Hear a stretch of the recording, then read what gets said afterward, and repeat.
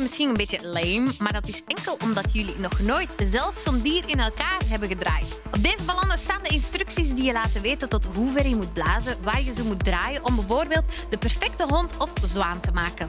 Je kan de ballonnen uitdelen en met de ganse bende leuke dieren maken of je kan een beetje vals spelen en laten uitschijnen dat jij de beste ballondiermaker ter wereld bent.